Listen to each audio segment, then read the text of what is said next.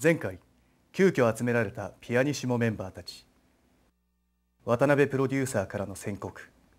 メンバー葵の脱退を乗り越え新しく動き出した新生ピアニッシモ。そして彼女たちに与えられた課題 PV 撮影。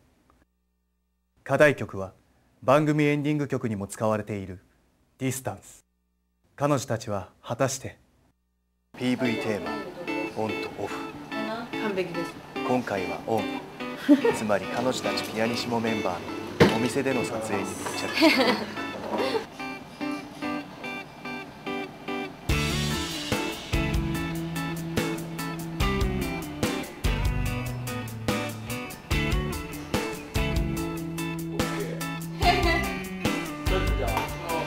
恥ずかしかでしょうよ私。ちゃった笑っちゃいけないじゃん当たり前だね。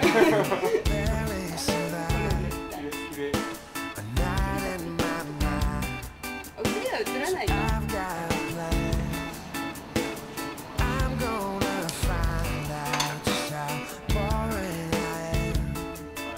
今のよかったよ。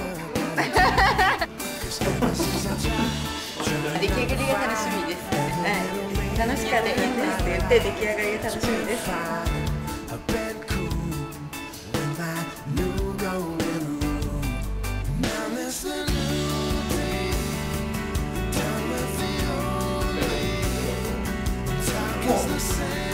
5限するああ大変ですま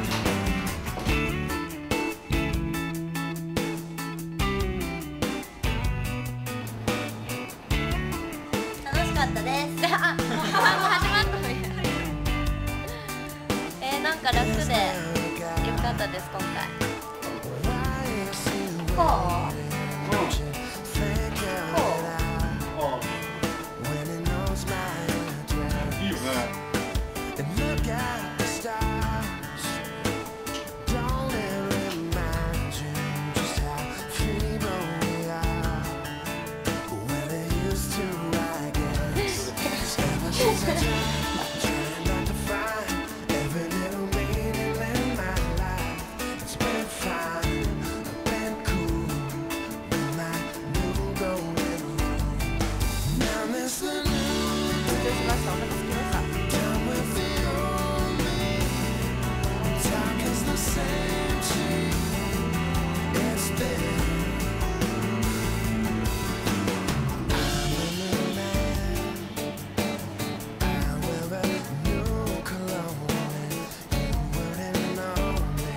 ケー。いやー終了です。お疲れ様です。お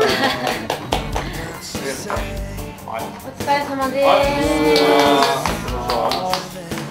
新しいメンバー6人になって初の PV 撮影だったんで楽しかった。感じ。オフとは対照的なクラブピアニシモでの彼女たち。完成した PV がこれだ。